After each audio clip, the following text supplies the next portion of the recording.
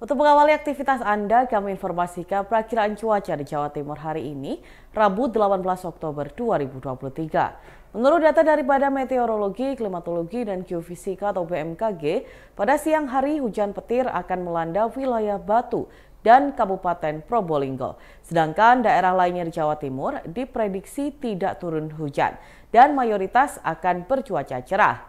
Daerah terpanas di Jawa Timur dengan suhu maksimal 36 derajat Celcius jatuh pada wilayah Lamongan.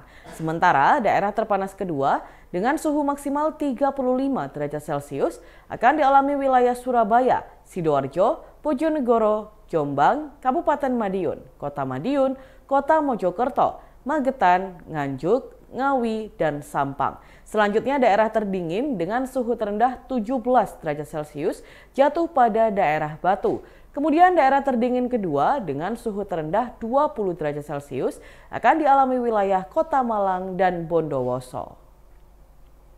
Tribunal sekian informasi perakiraan cuaca di Jawa Timur hari ini, Rabu 18 Oktober 2023. Terima kasih dan selamat beraktivitas.